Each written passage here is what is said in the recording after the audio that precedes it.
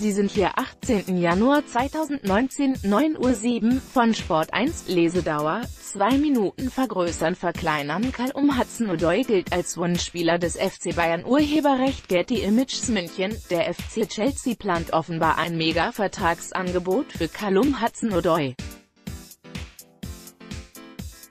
Das 18 Jahre alte Talent gilt als absoluter Wunschspieler des FC Bayern. Macht der FC Chelsea den Wunschspieler des FC Bayern, Callum Hudson-Odoi, zu einem der bestbezahlten Teenager der Fußballwelt. Wie die britische Sportsmail berichtet, sollen die Londoner bereit sein, dem 18-Jährigen ein Gehalt von umgerechnet knapp 80.000 Euro pro Woche zu zahlen. Hudson-Odoi, der noch kein einziges Premier League-Spiel für die Blues bestritt, gilt seit Wochen als absolutes Objekt der Begierde beim FC Bayern. Das letzte Angebot des deutschen Rekordmeisters soll bei rund 40 Millionen Euro liegen. Dem Youngster, dessen aktueller Kontrakt noch bis 2020 läuft, wird durchaus Interesse an einem Wechsel in die Bundesliga nachgesagt.